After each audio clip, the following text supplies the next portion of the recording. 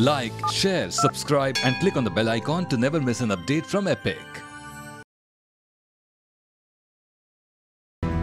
क्या आप जानते हैं? रुखमा बाई भारत की पहली महिला प्रैक्टिसिंग डॉक्टर में से एक थी।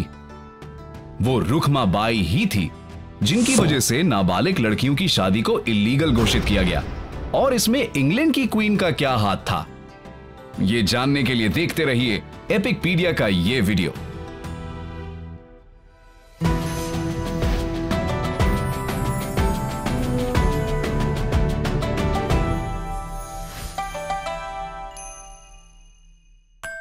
रुखमाबाई का जन्म 22 नवंबर 1864 को मुंबई में हुआ।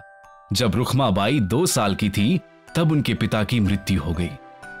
उनकी माँ जयंती बाई ने डॉक्टर सखाराम अर्जुन से दूसरी शादी करने से पहले अपना घर रुखमाबाई के नाम कर दिया। रुखमाबाई को बचपन से ही पढ़ाई का बहुत शौक था। वो अपने स्टेप फादर की तरह डॉक्टर बनना चाहती थी।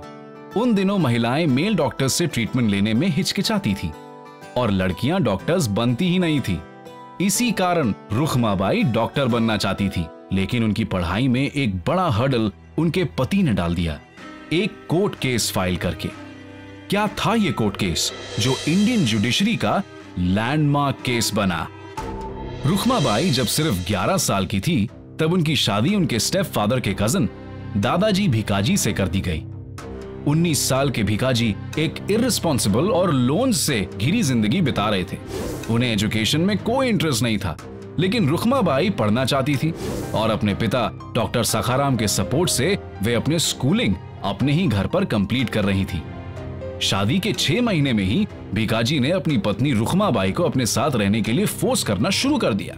लेकिन भिकाजी की खराब आदतों और केयरलेस लाइफस्टाइल को देखते हुए डॉक्टर सखाराम ने अपनी कम उम्र की बेटी रुखमाबाई को भिकाजी के पास नहीं जाने दिया।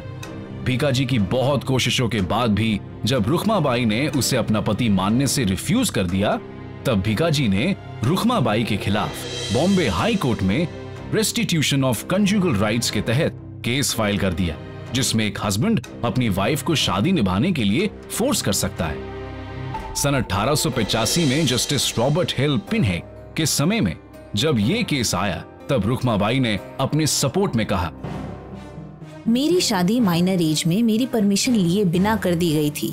अब जब मैं अडल्ट हो चुकी हूँ अपनी मर्ज़ी से जीना चाहती हूँ और भीका जी के साथ कोई मैरिटल रिलेशनशिप नहीं रखना चाहती हूँ। सभी दलीलों को सुनने के बाद जस्टिस पिन्हे ने कहा हेल्पलेस इन्फेंसी में की गई इस शादी को कैरी ऑन करने के लिए वे रुखमाबाई को कंपेल नहीं कर सकते। और रुखमाबाई के फेवर में वर्डिक दिया।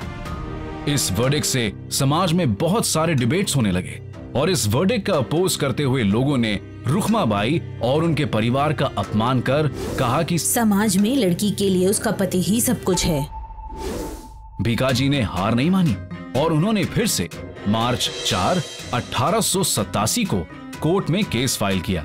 इस बार दूसरे जस्टिस फैरन ने दोनों साइड के लॉयर्स की बात सुनी और बहुत सारे एक्सपर्ट से ओपिनियन लेकर अपना वर्डिक दिया कि रुखमाबाई या तो अपने पति के साथ रहे या फिर छह महीने की जेल की सजा काटे। रुखमाबाई ने जेल की सजा बोल्डली एक्सेप्ट कर लिया। इस न्यूज़ ने भारत ही नहीं इंग्लैंड में भी धमाका मचा दिया। इस सजा के खिलाफ उनके सपोर्टर्स ने इंग्लैंड की क्वीन विक्टोरिया को कई पिटिशंस लिखे। फाइनली क्वीन ने कोर्ट के ऑर्डर को डिसॉल्व कर रुखमाबाई को जेल जाने से बचा लिया। और दूसरी तरफ़ बीकाजी ने दो हज़ार रुपए का कॉम्पेंसेशन लेकर केस क्लोज कर दिया।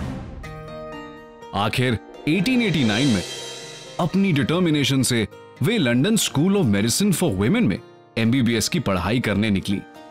और 1895 में पढ़ाई पूरी कर भारत लौटी। लेकिन एक हीरोज वेलकम के बजाय उन्हें अपमान सहने पड़े।